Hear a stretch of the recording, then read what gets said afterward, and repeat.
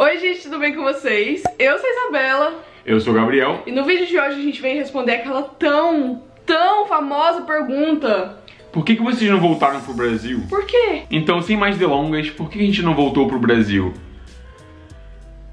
Porque a gente decidiu tirar um período sabático, certo? O que, que é um período sabático, Isabela? Fala pra galera que tá assistindo. Um período sabático é um período que você tira como se fosse um break da sua vida real. É um tempo pra você viajar, pra você fazer um intercâmbio, pra você aprender novas culturas, pra você ir pra lugares que você nunca foi ou fazer coisas que você nunca fez e se aperfeiçoar mesmo como pessoa, tentar dar um up na sua vida. Exatamente. Então, pelo menos eu acho que, tipo assim, toda oportunidade que a gente tem de mudar e de fazer uma coisa nova, a gente tem que abraçar essa oportunidade porque a gente nunca sabe quando ela vai aparecer de novo. Tipo, Certo. uma coisa que a gente pensava muito era que a gente tem 20, eu tenho 21 anos, o Gabriel tem 22. Então, tipo assim, esse seria o, o período ideal pra gente fazer alguma coisa diferente, porque depois, sei lá, a gente vai ficar mais velho. Vai ter mais responsabilidade, vai ter mais é. compromisso, E a gente ter um emprego mais fixo. A gente nunca sabe o que mais. vai acontecer, sei lá, a gente vai ter filho, sei lá, vai que acontece. E aí, tipo, como que a gente vai tirar esse período depois pra viajar, pra conhecer as coisas, pra fazer um intercâmbio? Então, esse era o momento ideal. Foi o momento que a gente se formou, a gente se casou. Então, pra esse período sabático, a gente planejou várias coisas pra irem acontecendo.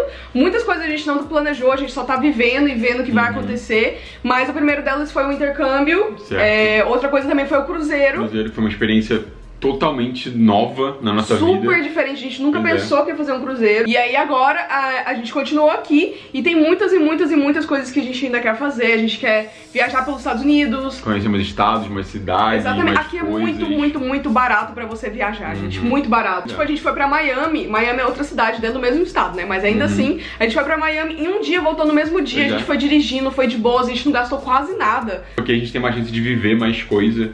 É viver experiência, é, é, aproveitar a coisas vida. Diferentes, coisas novas, É. é, conhecer mais pessoas também. mais pessoas, é. fazer contatos, é, conhecer pessoas que têm tipo a cultura diferente da nossa, porque o americano é muito diferente do brasileiro. E aqui tem muito, muito, muito latino aqui em Uhum. É Orlando. verdade, é verdade. então, tipo, é gente que tem a vida completamente diferente da sua, que fala outra língua e que vai acrescentando na sua vida também. Mas é engraçado também que, ao mesmo tempo que é uma coisa diferente, também é uma coisa meio próxima, porque É. eles é, é, abraçam muito você na cultura deles, na, na vida deles, porque só por ser latino eles, eles também já gostam de conversar com É. você, entender como que é um pouco da, da, da sua cultura. Então é bom porque a gente não só aprende, como a gente também, tipo, A gente. tá falando da é, gente também. Compartilhando tipo, a nossa própria cultura é. e recebendo em troca a cultura deles. Você fica ensinando português pros latinos. Fico, fico ensinando português pra todo mundo que fala espanhol e fico aprendendo com eles também. E o motivo da gente ter escolhido ficar aqui nos Estados Unidos, ou vir pra cá, no caso, é porque a gente já gosta muito daqui. A gente já conhece aqui, então a gente, assim, a gente conhece, entre aspas, né? Porque A gente conhece veio- Orlando. A gente conhece Orlando, exatamente. Mas como a gente já veio antes, a gente já conheceu a cultura, a gente já falou, putz, a gente gosta daqui, é, uma- é um país legal, Uhum. é uma cultura que a gente se identifica. A gente tinha pensado em ir pra Irlanda, porque lá na Irlanda é muito É barato, tipo, pra você ir, pra você fazer um intercâmbio.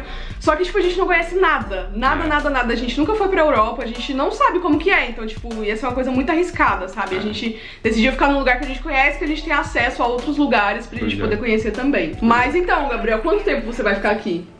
Então, ainda não está decidido. Por que, que você está me impressionando desse jeito, Isabela? não, brincadeira. A gente ainda não decidiu por, por quanto tempo a gente vai ficar aqui. Até porque a gente não sabe. A gente não sabe, honestamente, não tem como a gente decidir assim, porque a gente não, não tem uma noção muito É, a boa. gente não sabe o que vai acontecer, cada dia pode É. acontecer uma coisa diferente e acaba que, tipo, a gente tá nesse período vivendo um dia de cada vez. Tipo, vamos ver o que, que vai dar, vamos ver o que, que vai acontecer. Uhum. Exatamente. Vamos, vamos vivendo e aí quando não der mais, a gente volta pro Brasil. Pronto, simples assim. Simples assim. E nesse momento que a gente tá fazendo o vídeo agora, a gente já está aqui há seis meses. A gente Seis. chegou em maio e a gente tá aqui em novembro. É, e é surreal porque, tipo, não parece que foi metade de um ano. Não, pois é. Passa pois muito é, passa rápido. rápido. Voa, voa. Muito pra mim, a rápido. gente tá aqui, é, tipo, que dois meses. Exatamente. Sei lá, tipo, é muito, muito rápido. Muito rápido. E aí, nesse período que a gente tá aqui, a gente já cresceu muito. Quando eu vim pra cá, eu tinha 1,70. Agora eu já tô com 1,76, É. mais ou menos. Uhum. Não sei se vocês sabem, mas quando a gente veio pra cá, a gente tinha acabado de casar. Então, tipo, a gente nunca tinha morado junto. A gente casou e veio. A gente tá fazendo coisas que a gente nunca faria no Brasil. É, como por exemplo, a gente, por exemplo, pra mim, que é uma experiência totalmente nova, eu tô dirigindo aqui. O Gabriel não tinha carteira no Nunca tive- Não tinha Brasil. carteira no Brasil, não consegui tirar minha carteira lá.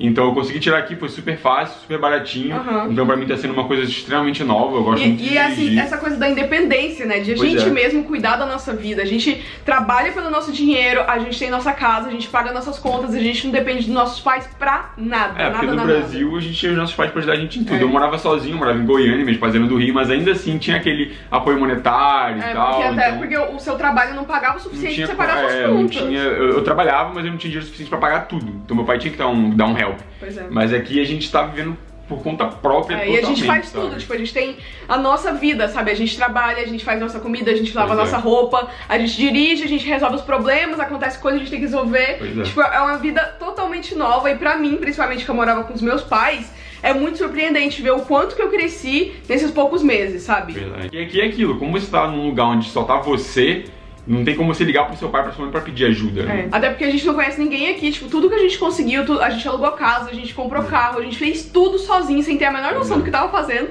mas tudo sozinho, se virando e pesquisando, e isso é uma coisa que, tipo, tá fazendo a gente crescer muito como pessoa e tá sendo Uhum. muito maravilhoso. Verdade. Mas então é isso, é, a gente queria fazer esse vídeo mesmo explicando, porque todos os dias eu recebo um milhão de perguntas falando por que, que vocês não voltaram pro Brasil, quando que vocês voltam, e é isso mesmo, a gente tá tentando ter uma experiência nova, conhecer coisas novas, fazer coisas novas, Uhum. e vai ter muitos vídeos aqui no canal falando sobre a nossa vida aqui nos Estados Unidos, Como que tá sendo a experiência como aqui. que tá sendo o nosso trabalho, como que foi pra alugar casa, como foi pra comprar o carro, tudo, tudo, tudo. Quero falar tudo, até pra ajudar quem quer vir e não tem a menor ideia de nada, igual a gente não tinha, né? Exatamente. E é isso então. Muito obrigada por ter assistido o vídeo. Não se esqueça de comentar aqui embaixo falando o que que você achou e de curtir o vídeo se você gostou. E tchau! Tchau. Até o próximo vídeo.